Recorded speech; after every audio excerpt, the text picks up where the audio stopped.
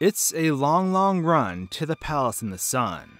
With hopes and dreams, our ship will cross the sea to the whole new world. These are words I don't think I could ever forget. The concept of an MMORPG was still foreign to me in the early 2000s, and most of my time was spent playing games with my brothers in the middle of the countryside. There wasn't much around us, and although games offered me the ultimate escape to foreign lands I could explore, Phantasy Star Online brought that to an entirely different level. Now I could travel to foreign lands and talk to people across the world I never would have had the chance to otherwise. And coupled with a beautiful and immersive game I had been playing offline for a few months, my gaming experience was completely reinvented when my adventure took to the web. There was something surreal about the planet Ragol that seized the explorer in me right away. Forming up parties, whether online or with my siblings, was very enjoyable, and the diverse areas the game offered really satisfied the explorer in me. However, what was most interesting to me was that people often didn't want to play the same levels I did. Episode 2 took me by the heartstrings immediately, and it was by far my favorite of the two episodes. Yet, most people online kept to episode 1 due to the faster experience rates and the number of enemies. Most people discarded the sense of adventure episode 2 offered. But I relished in it. I was captured by its beauty. And of all the amazing places within the second episode, Gal Da Val Island was my favorite.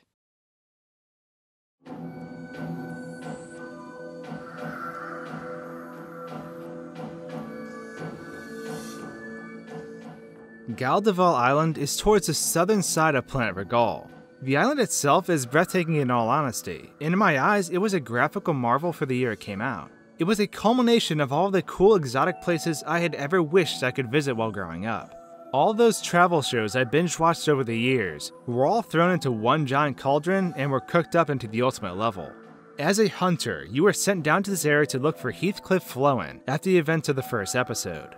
This quest takes you all over the island as you unlock entry logs that begin to piece together the story. From fighting plant monsters to spellcasting apes, there's plenty of deadly creatures that inhabit this diverse region. To add to the mix, this region in particular was more difficult than anything included in the first episode of the game. The unique enemies of episode 2 were more resilient and oftentimes inflicted more damage than the first episode's counterparts. I believe this is why this area was often unexplored when people played online, simply because it was too hard for the rewards it gave in comparison to episode 1. However, this is also what made me treasure this area deeply. When we first got Phantasy Star Online, we didn't play it all the way through. It was actually my older brother's game, and as such, he wanted to be the first one to clear its various areas. That may sound a tad silly to put a ban on your younger siblings from beating a game before you, but we always end up beating games before him simply because we had more free time.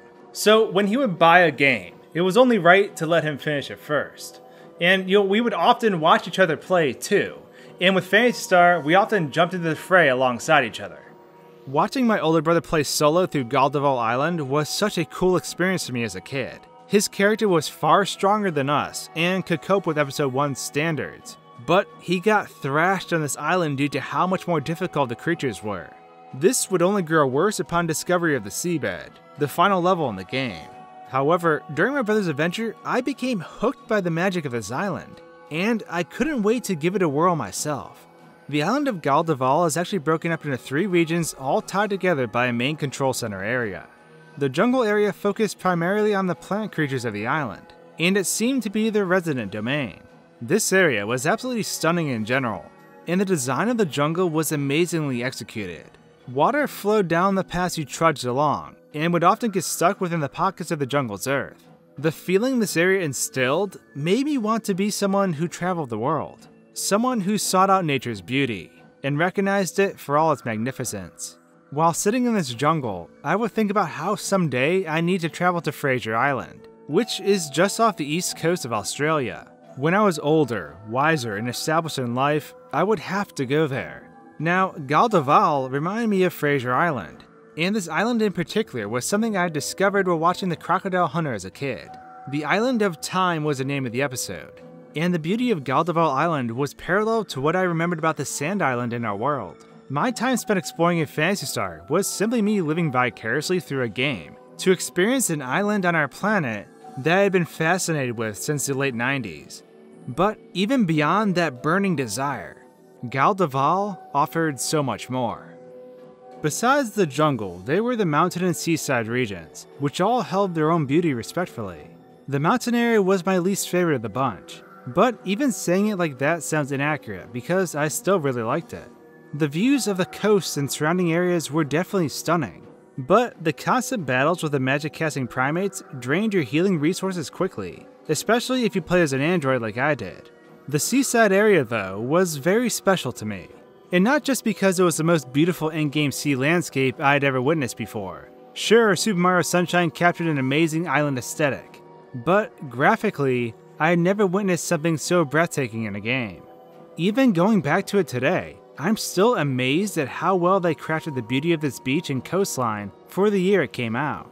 But like I was saying, exploring this surreal coast wasn't the only reason why I cherished it so much. Later on, after Phantasy Star had been out for a while, they released a quest that was simply about resting on the beach.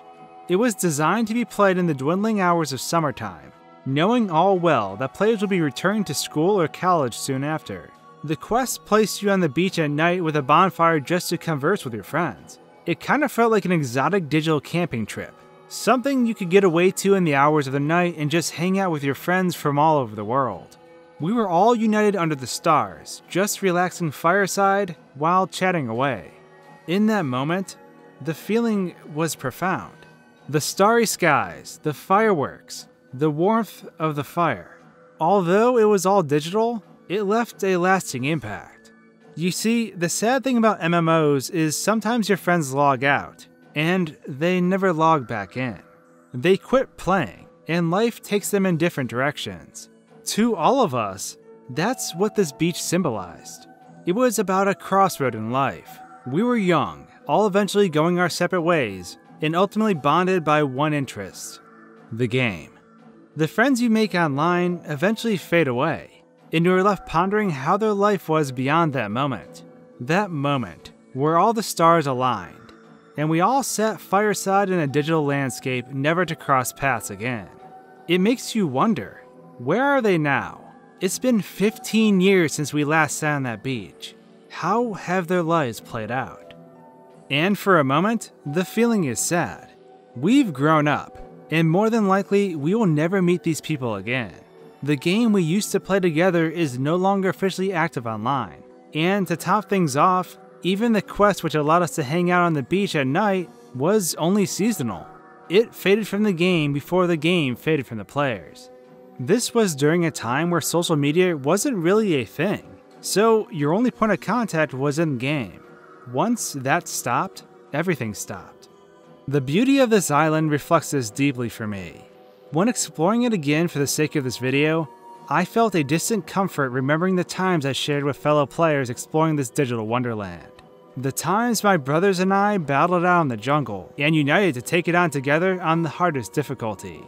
The times we fought the boss Gryphon over and over again because their lightning was simply one hit us. These are the memories that define Phantasy Star Online for me and this island will continue to be a place I cherish deeply. This is why Gal Da Val Island will forever be one of my pixel portals. I have so many memories with Phantasy Star Online, and I hope this video kind of shared some of those with you. There's a lot more I want to do on this topic, but um, Island was a, a very important area for me. I just hung out there with friends, and just Online in general for Phantasy Star was monumental for me being the first MMORPG I actually played. Even chilling in the lobby was so much fun. And I know there's you know private servers and stuff like that that host um, you know small communities, but uh, I just want to spend time and really dive into this area because I often feel like even Phantasy Star itself is often neglected. So I hope you enjoyed this video, um, and I hope you enjoy the rest of my Pixel Portals. But now that I shared that with all of you, I'd love to hear about your own experiences. What was your favorite place in Phantasy Star Online? Do you have any fond memories about playing the game with friends? And if you played online, do you ever think about what your old friends are up to today? I'd love to hear your story, so let me know your thoughts in the comments below. You can always shoot me a tweet or hit me up on Discord as well. And with that, thanks for tuning in to this nostalgic voyage through an exotic island. If you'd like to join me on my YouTube voyage and continue to recall the memories from our past, then the subscribe button is just what you're looking for. Thanks for watching guys and gals, and until my next video, cheers. You've made it to the end of the video, but wait, your quest isn't over yet. If you like what I do, consider supporting me on Patreon so I can continue to make videos for all of you. There's also a slew of other videos on my channel too. So regardless, I hope you enjoy.